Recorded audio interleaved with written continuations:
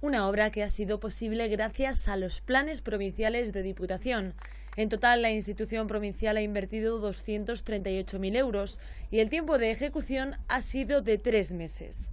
Allí, tanto vecinos como miembros de la corporación municipal han enseñado a Arturo García Tizón los frutos de este desembolso, una enorme balsa que recogerá las aguas de lluvia torrenciales y sobre todo los sedimentos. El gran problema de este pueblo que sufría enormes lodos cada vez que llovía de manera contundente.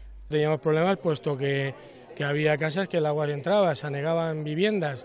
Entonces, pues hay que darle las gracias, por supuesto, a la Diputación, también a, sus técnicos, que, que se ha redactado el proyecto y a través de los planes provinciales, pues hemos abordado esta obra vital para este municipio.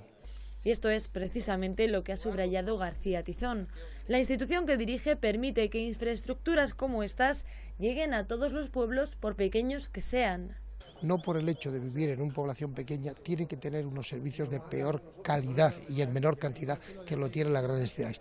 Eso los municipios por sí solos, y estos pueblos pequeños, no pueden atenderlo. Por lo tanto, eso tiene que haber una institución de ámbito supramunicipal que permita esos servicios en cantidad y calidad igual que en las grandes ciudades. Y esa es la Diputación Provincial, de tal manera que si no hubiese Diputación Provincial habría que inventarla.